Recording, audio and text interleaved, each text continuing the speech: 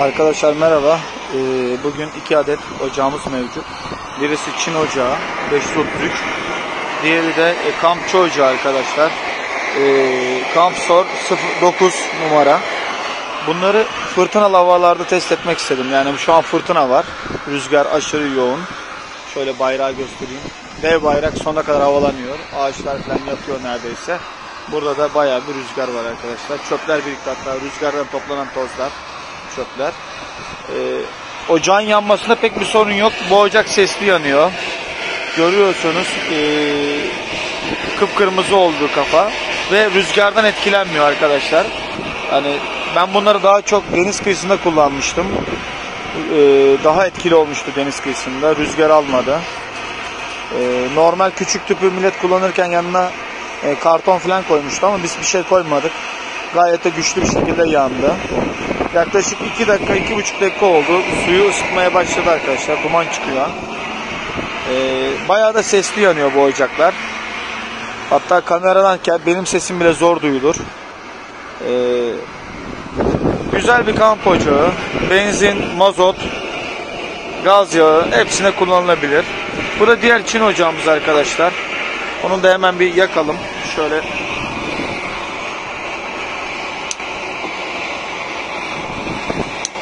Şu an yakalım onu da. Yandı.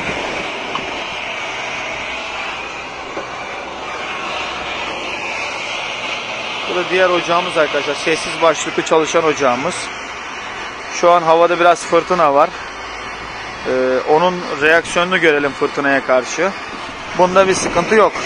Şöyle çeksek bile fırtınadan etkilenmiyorlar arkadaşlar. Bakın ee, rüzgara. Diğer ocağımıza bakalım. Bu ocağımız da masmavi yanıyor arkadaşlar yine. Bakın rüzgar da şöyle bir onu da gösterelim. Görüyor musunuz bilmiyorum masmavi yanıyor. Bayağı bir e, fırtınada e, kullanılmaya değer arkadaşlar. Gerçekten güçlü bir şekilde yanan ocaklar bunlar. Hani kimileri diyor ya fırtınada, rüzgarda, kampta, dağda iş yapar mı filan. Gerçekten iş yapar. Rüzgardan çok çok etkilenen bir şey değil yani. Gayet de iyi yanıyorlar. Ben salladığım için şu an sarı yanıyor arkadaşlar yakıtı. Şöyle masanın üzerine koyayım normale dönsün gene. Evet. Şöyle bir biraz çevireyim. Yakıtı da bitmek üzere arkadaşlar içinde. O yüzden sarı yanıyor. Ve normale döndü şu an. Diğer suyumuz da kaynadı. Bakın yaklaşık 4 dakika, 4,5 dakika kaldı kaynaması. Rüz dışarısı şu an çok soğuk. Soğuk. Ee, kaç derece bilmiyorum. Ee, çelik bir de bu. Biraz geç kaynatıyor o yüzden. Ve şu an kaynamaya başladı suyumuz. Evet aşırı da rüzgar var. Arkadaşlar onu ekliyor. İzlediğiniz için teşekkür ederim. Tavsiye ederim bu ocakları arkadaşlar.